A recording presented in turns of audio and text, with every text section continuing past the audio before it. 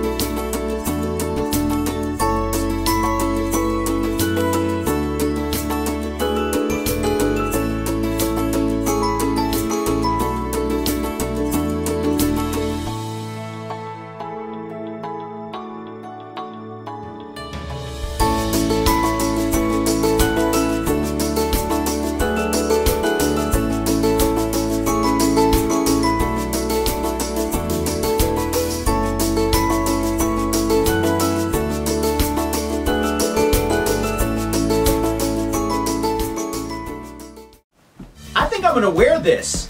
The great thing about E6000 Fabrifuse is that it's flexible when it dries, so you don't have to worry about your fabric coming apart when you put on your t-shirt.